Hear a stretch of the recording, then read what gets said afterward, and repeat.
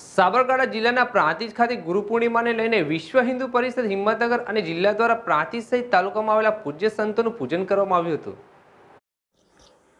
ગુરુ પૂર્ણિમાના પાવન પ્રસંગે વિશ્વ હિન્દુ પરિષદ હિંમતનગર જિલ્લા દ્વારા પ્રાંતિજ સહિત તાલુકાના પૂજ્ય સંતો, પૂજ્ય મહંત સંતોનું પૂજન કરવામાં આવ્યું હતું, જેમાં પોગલું વારાહી શક્તિપીઠના મહંત સુનિલદાસ મહારાજ, સ્વામિનારાયણ મંદિરના સ્વામી શ્રી પ્રાણજીવનદાસ પુનાદરા નંકરધામ આશ્રમના પૂજ્ય નંદુરામ મહારાજ. સલાલના પૂજ્ય શ્રી હરિચરણ દાસજી મહારાજનું પૂજન કરી ફુલાર પહેરાવીને સાલ ઉડાડીને સન્માન કરીને પૂજન કરવામાં આવ્યું હતું, જેમાં વિશ્વ હિન્દુ પરિષદ હિંમતનગર જિલ્લાના અધ્યક્ષ મનહરભાઈ સુતાર, ધીરજભાઈ લિંબાચિયા, જયેશભાઈ પટેલ, નટુભાઈ બારોટ, પ્રતિક રાવલ સહિત ઉપસ્થિત રહ્યા હતા.